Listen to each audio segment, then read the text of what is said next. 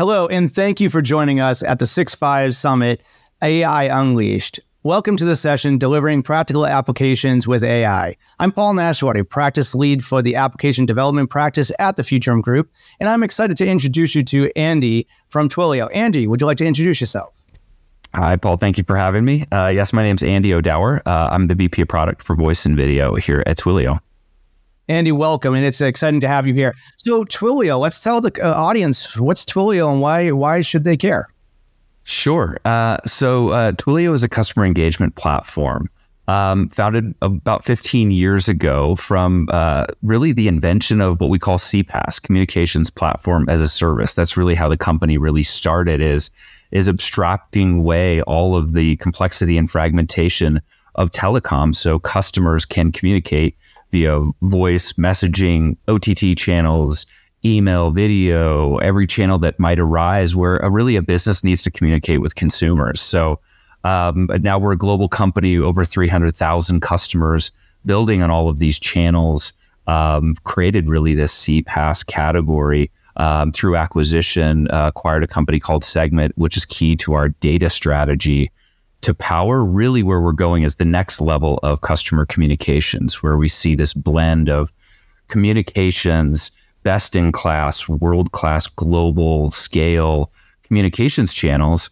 along with data um, to really power more personalized more effective communications channels. And then you mix in all the advancements with ai both ai in in-house at twilio and also with partners as that landscape changes to really bring what we call a trifecta of data, communications, and AI together to really move even beyond CPaaS where we've been um, into new levels of, um, of customer engagement uh, for, to be more effective for customers and consumers alike. So, uh, yeah, it's been a really adventure. I was a longtime customer of Twilio for many years before joining uh, Twilio on the uh, on the product development side. Eddie, it's it's really great to have you here because you know last uh, was it last week or so we, I was uh, in person with you at the Twilio executive event. Um, lots of activity going on there. Lots going on with how what developers are working on, uh, the market efficiencies of what we're seeing in the market. So there's a lot happening there.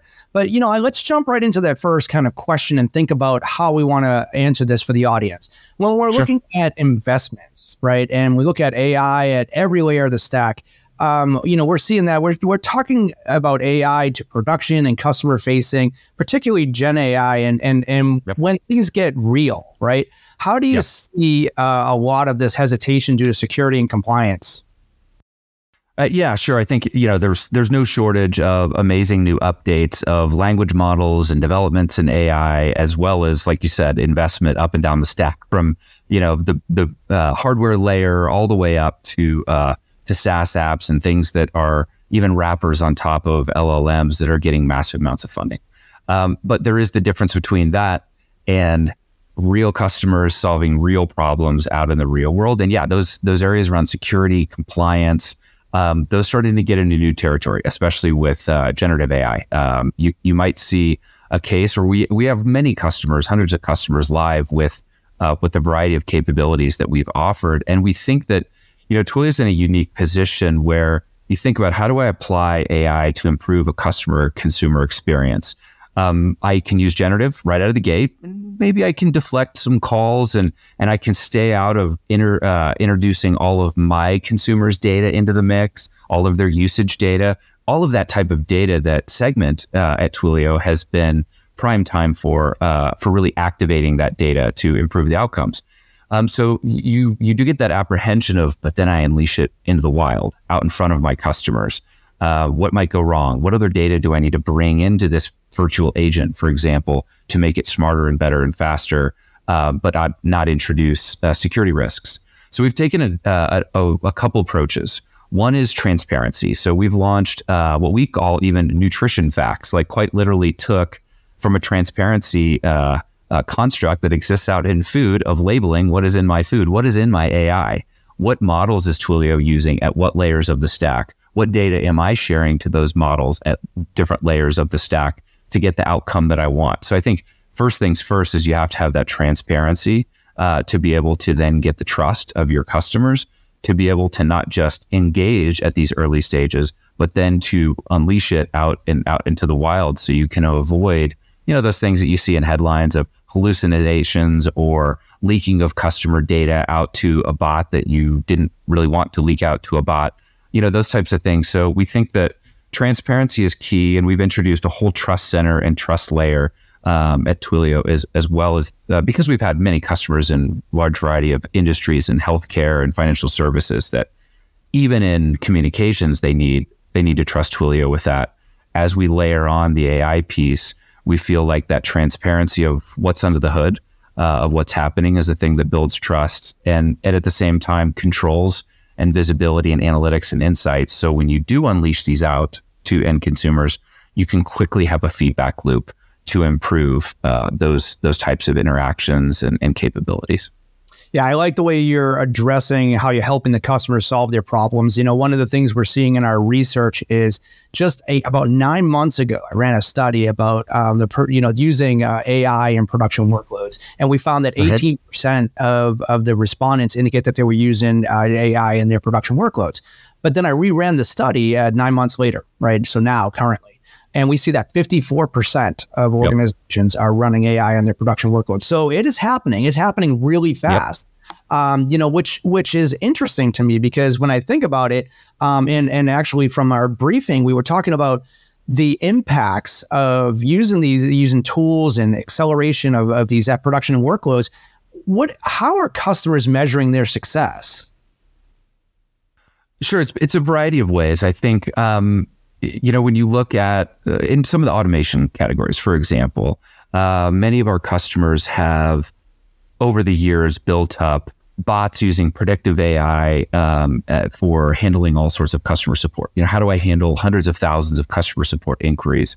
Um, and and how do I do that without hiring another 200 people um, into a contact center, for example? So they're looking at measurements of success in terms of um, resolving customer issues and support type areas and service type areas while maintaining high CSAT, um, that customer satisfaction that's absolutely critical. So, um, you know, it's one thing to just throw a generative AI bot out there um, that's wrapping a ChatGPT, for example, and hoping for the best. It's a whole other measure of success to be able to say, out of all of these types of inquiries that my business received, these that were more transactional, um, that could really be handled by a virtual agent were handled successfully and CSAT was maintained or even increased. So we've seen many cases where customers are having those exact same results.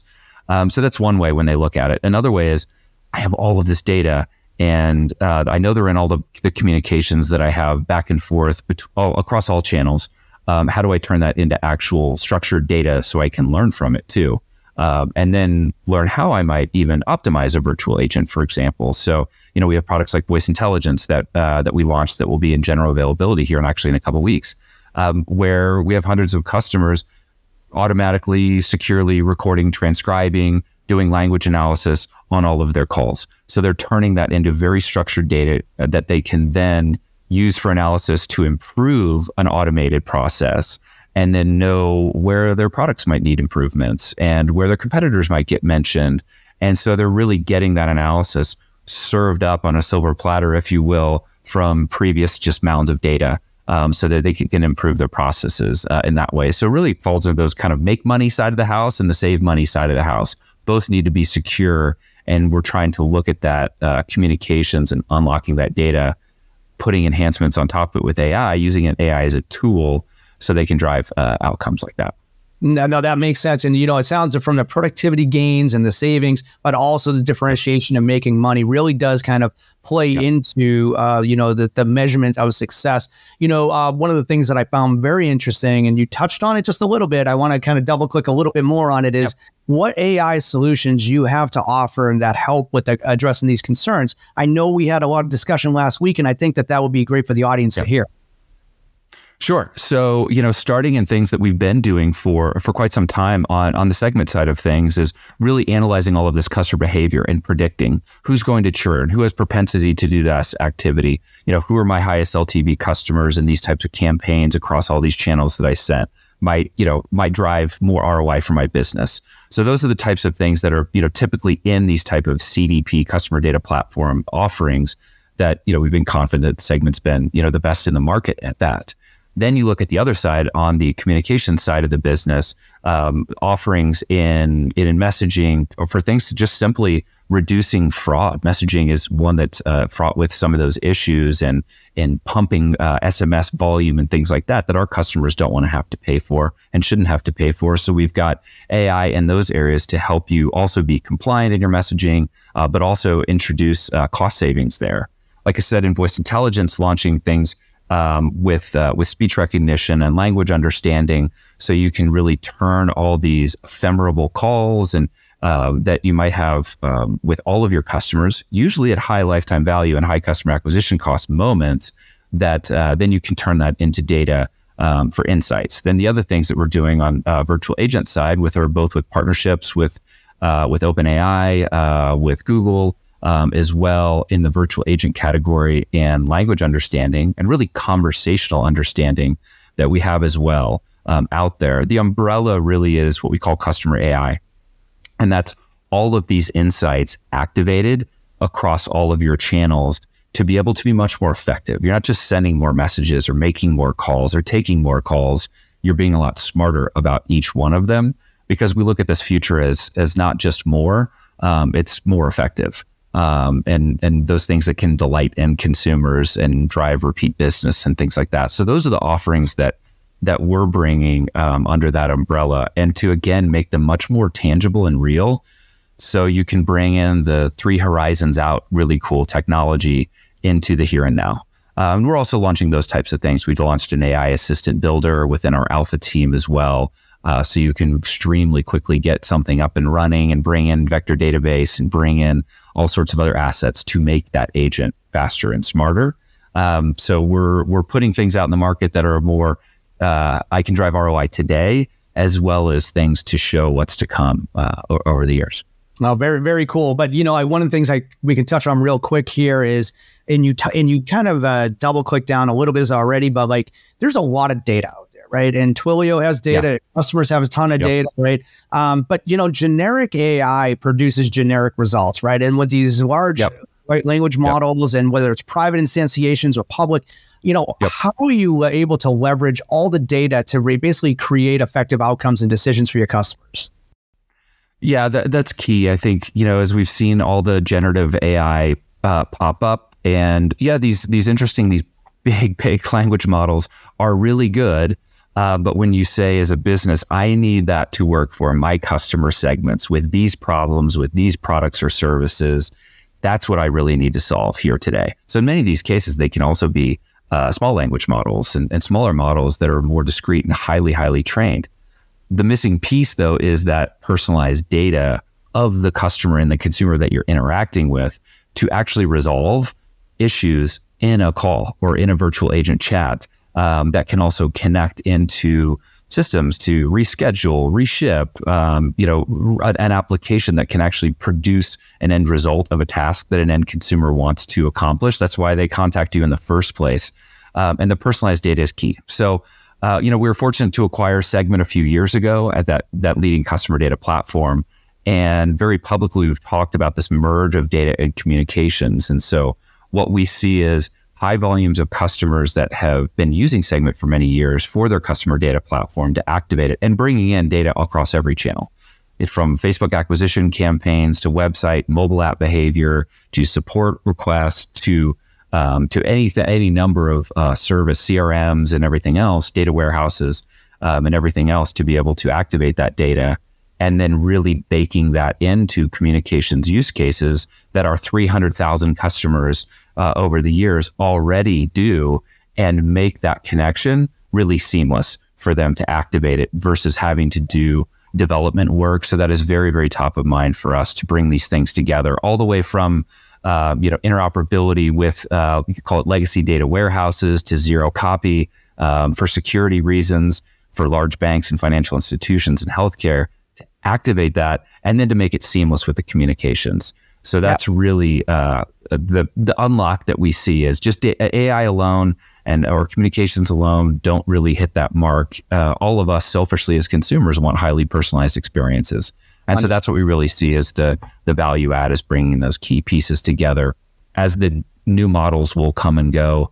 Um, we want those uh, those foundational elements to be active for our customers. Yeah, it makes a lot of sense. Um, where where how would you advise the audience to get started? Uh, sure. I think you know just to learn, you know, going to Twilio.com and looking what we have. You know, very, um, you know, like I said, we've got over 300,000 active customers, 10 million developers. We've we've really put um, the emphasis on the ability to get started and see that magic moment, that aha moment um, with Twilio, with just quickly and easily signing up and connecting these things and getting a proof of concept out in minutes rather than days and weeks. And so, you know, coming into Twilio, you as a as a customer um, can automatically quickly try things. Um, and then do a pay per use model and it's usage based. So you can get started and ease into it um, and then quickly scale. So, you know, we looked at, you know, we're the partner that you can scale globally with as well, not just easily get started. So that's where I'd encourage you to go and you can learn a lot more about what we're doing, the offerings that we have, uh, both live right now and things that are coming. And, uh, you know, you'll see more and more from us um, over the coming months uh, in this space. Great. Thank you, Andy. Hey, I want to thank you for your time today. I want to thank you for your, your perspective. And it, I know it's just the tip of the iceberg here. Lots to think about, lots to consider for your yeah. organizations. I also want to thank the audience for attending our session today. It's been, a, a, there's a lot of data here, a lot of information, and a lot to consider. Um, go to twilio.com or thefuturumgroup.com for additional information. Thank you very much and have a great day.